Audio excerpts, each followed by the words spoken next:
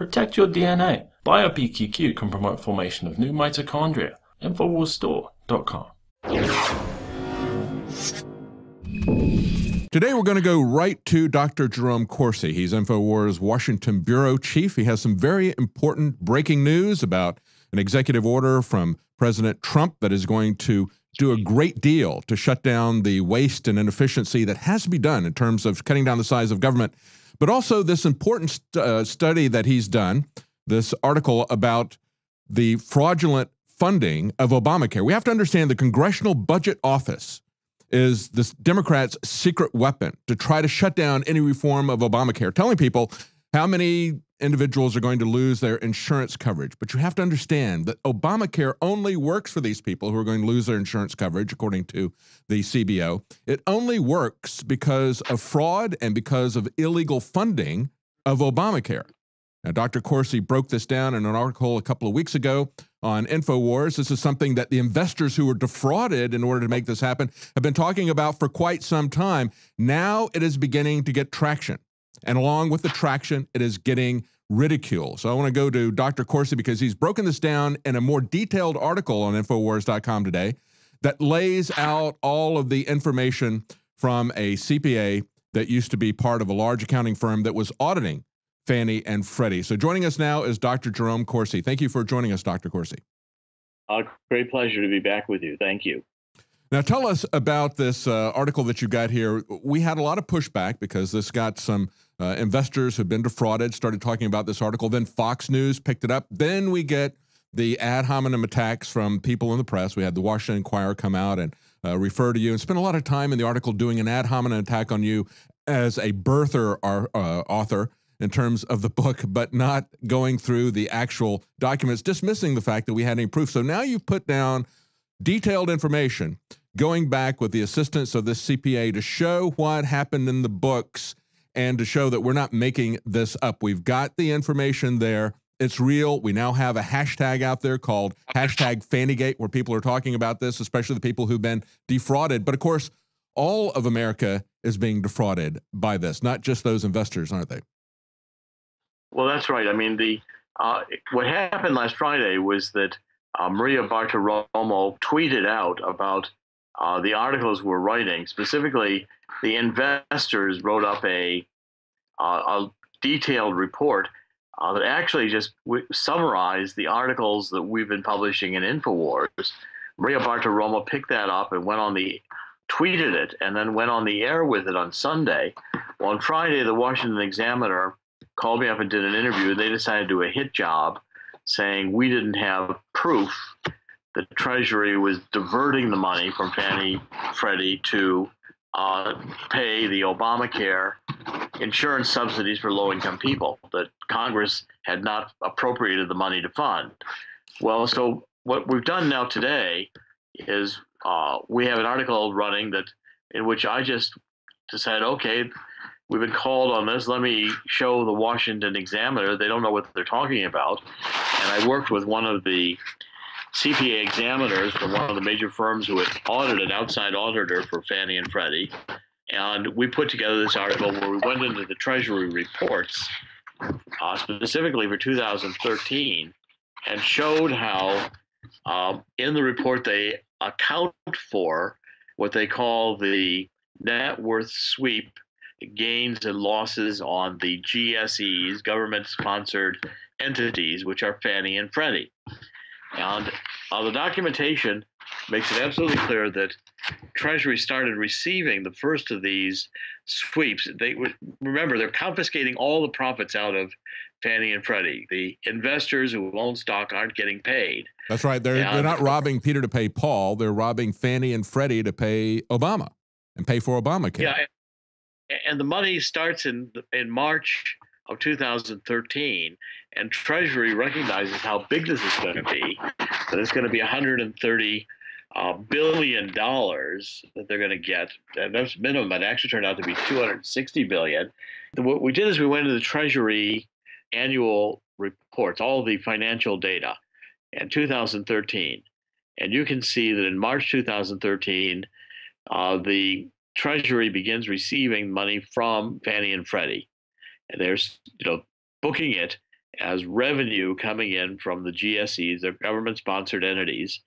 Uh, and the Treasury figures out they're going to get about 130 billion in 2013 from the net worth sweep. The net worth sweep was uh, Treasury had decided to take out all the earnings of Fannie and Freddie and not pay the private investors anything, just stole it.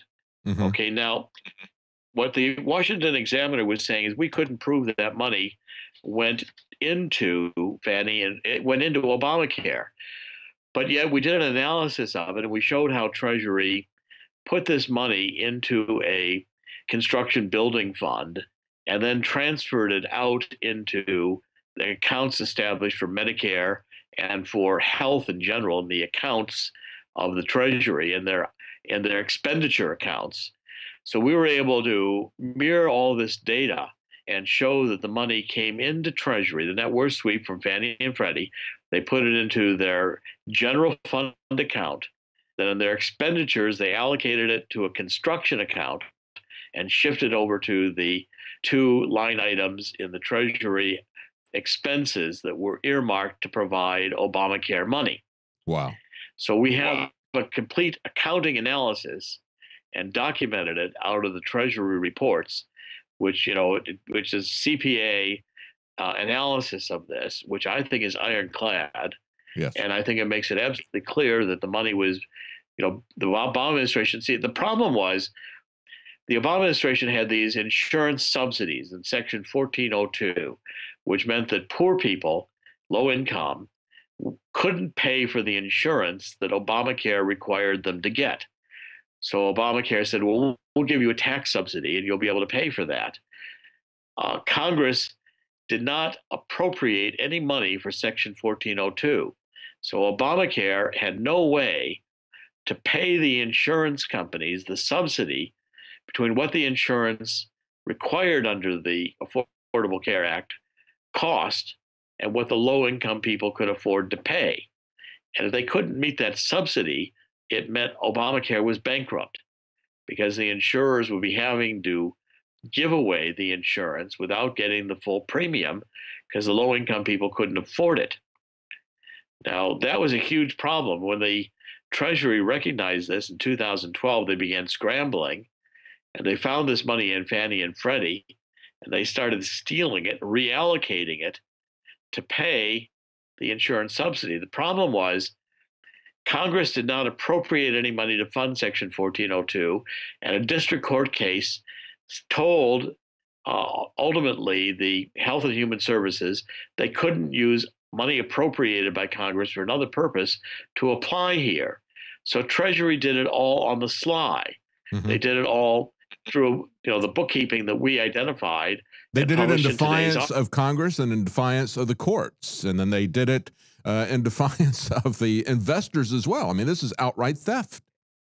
And in defiance of the Constitution, because yeah. the federal government isn't supposed to be funding itself. That's supposed to all come from Congress. When Congress tells the executive branch you can't have the money, Congress doesn't expect the investment you know, the executive branch to go find it somewhere else or to go steal it from Fannie and Freddie and spend it anyway.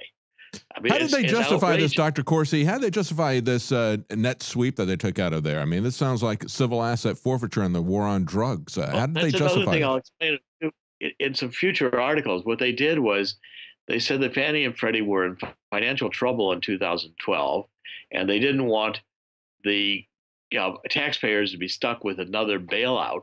So they, they were just going to basically start taking over Fannie and Freddie. They were going to begin by taking all the earnings. Okay, now it wasn't true. Fannie and Freddie mm-hmm. were actually in such good shape they paid the Treasury $260 billion. The Treasury again fixed the books to say that Fannie and Freddie were in dire condition in 2012, ended the uh, agreement, the preferred stock agreement, where this the usual shareholders, the private shareholders, would have gotten paid and instead confiscated by Treasury all the earnings. I mean, it's just outrageous what they did. Well, yeah, they were in okay, dire I mean, shape because you had the Treasury Department embezzling money from the investors. yeah. they were embezzling money from the investors. They were applying it to pay Obamacare. They were not telling the public that without Congress appropriating the money for the subsidies in Section 1402, that Obamacare was bankrupt. And this was in 2012, 2013. Mm. But by stealing what amounted to 260 billion dollars, billion from the investors that should have been paid out in dividends or retained by Fannie and Freddie as capital, working capital, what happened is that uh, the uh, Treasury confiscated this money. The investors got nothing. Treasury, through this accounting legerdemain, you know, tricks, transferred it over into an Obamacare account and didn't announce to the American people that they were doing it. So they paid HHS, paid the 1402 subsidies to keep Obamacare going with Fannie Freddie money that was stolen from the investors. Just amazing. Just amazing. Now, the, the group that has put this out is Investors Unite. The hashtag is Fannie Gate. And uh, of course, there's pushback against this whenever we show that out there. But now you've put out a detailed article. People can find this at Infowars.com. The title of the article is Confirmed. Treasury says Obama stole from Fannie and Freddie investors to fund Obamacare. And you have put a detailed uh, accounting analysis in that article so they can't say this is fake news that we're making this up. You document this meticulously. As you point out, this is an ironclad uh, exposition of where, how they took this money, how they stole it fraudulently, illegally, in defiance of Congress, in defiance of the judiciary, in defiance of the Constitution. Everything about Obamacare is a fraud, and we need to understand this as we look at the uh, congressional scoring, the Congressional Budget Office, as they score this and say this is going to be really bad for people who don't have insurance. We have to understand they never had it without fraud and deception. I want to move from this article now, Dr. Corsi, in the time that we got left to this uh, new announcement that was uh, that came out this afternoon. You got this about an hour or so before it hit. Uh, tell us about that coming from the Trump administration. Well, the I got sent an uh, email from the White House about um, 3:30 this afternoon that uh, President Trump, as soon as the a cabinet meeting was over about 4:30 was going to sign this executive order. It's a comprehensive plan for reorganizing the executive branch, and this executive order, uh, President Trump gives uh, the OMB, which is the Office of Management and Budget, uh, 180 days.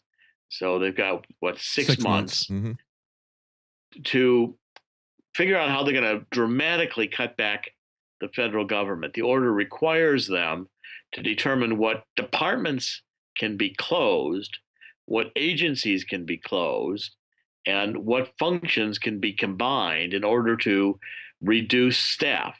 This will be one of the biggest reductions in force that the federal government ever undertaken in modern times. And it will. It, it, uh, we got it an hour before President Trump signed it, so we had the you know a, a, a advanced look at this that came out from uh, one of the one of the um, people in the executive office who works with us to try to give us heads up on what's about to be released by the press office. Well, that's huge, and that shows that Donald Trump really understands what the problem is. We've got a bureaucracy that is metastasizing and multiplying. If we go back to Thomas Jefferson's second inaugural, he said, by eliminating useless offices, we've been able to eliminate all internal taxation. And that's the type of thing that has to happen. Government cannot grow indefinitely. This thing has become like uh, some kind of science fiction blog, and uh, it, it, just continues to grow and grow. You have to cut down and consolidate the waste. You have to cut down these unnecessary offices that have that have been there, and I think that's very, very important that he's going to have them come up with a six month plan to do that. And also, uh, these exe- the executive branches. We're talking about you know the Environmental Protection Agency, the State Department, the Department of Justice. All these departments are packed with Obama and Clinton supporters, leftists, who are doing everything they can to block, oppose, resist, um, to destroy, destruct President Trump's agenda. Mm-hmm. And so by getting rid of these functions, these agencies, maybe firing, closing whole agencies. I mean, I'd love to see a recommendation that we don't need the Department of Energy or we don't need the or Department commerce. of Education. Yes. Oh, absolutely. Commerce. But, Go back to education. You know, that was what Ronald Reagan said he was going to do. It was created by Jimmy Carter. It was less than four years old. He could have killed that thing. Like I've said many times, Rosemary's Baby, he could have killed it in the crib. Instead of they fed it and nurtured it till it became many times larger. I think it's very important to see Donald Trump moving against this ever increasing bureaucracy and knowing exactly that's the heart of the problem. You've got you, you can't you've got to drain the swamp by getting rid of these uh, imperial permanent positions of part of the bureaucracy. And all these people in the bureaucracy do is sit there all day long and make rules, which is essentially they become little legislators yeah. You know, they don't report anybody in the Congress or and they make up their own rules, which then get promulgated in the Federal Register. And you know, this is another way to essentially reduce taxes because yes. these regulations are all enormously expensive for the, the net result of, of this permanent bureaucracy is that we have not only taxation without representation but we have legislation without representation.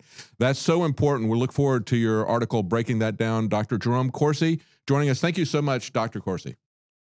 Great pleasure. Thank you very much. Thank you.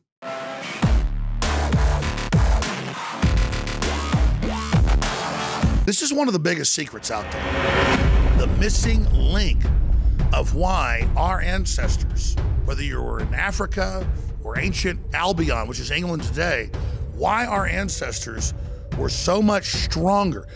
I mean, there are huge archaeological reports, all sorts of anthropology studies. You can look them up for yourself that show that humans, just an average farmer of 10,000 years ago in England, was stronger than Olympic athletes today. In the final equation, everyone knows our modern society has lost its vitality. The sperm counts are down like 90%. People are falling apart. They're totally depressed. They're unhappy. What is going on? Every ancient culture was obsessed with what I'm about to reveal to you. Today we call it bone broth, and for thousands of years our ancestors enjoyed its benefits before it became lost to our modern diets of processed junk. That's why I'm so excited to announce the product that is undoubtedly the jewel in the crown of InfoWars Life products. Caveman. We lost our vitality because we just ignored the ancient traditions. Everyone knew that you used all the parts of the animal. You used the skin to cover yourself for shelter. You used the meat for sustenance, the fat for cooking, but you used the bones for strength. We are now introducing Caveman by InfoWarsLife.com, the ultimate in true paleo nutrition with bone broth, turmeric root, chaga mushroom, and seven total primal superfoods in a single great tasting formula. The bone is so amazing from the outside structure full of minerals and key cofactors to the marrow that produces the blood for the body. This is the engine of the life essence. I've made a lot of important points here, but this is the one you need to research for yourself because it's so key. High quality bone broth helps support healthy muscles and connective tissue, while the active compounds in turmeric do battle on the cellular level and help fight free radicals. And collagen is essential to aid healthy tendons, ligaments, and muscle tissue. This is a absolute win-win. You get an amazing product produced right here in America. You support InfoWars and all we're doing to promote freedom and the restoration of our republic and promotion of freedom worldwide. The journey towards better health and giving our bodies these amazing compounds that God created starts at InfoWarsLife.com. Three years in the making, incredible research, and the very best ingredients. I'm Alex Jones, and I may not be a caveman, but compared to these trendies out there in the street, I'm as close as it gets. Join me at InfoWarsLife.com and get your caveman formula today.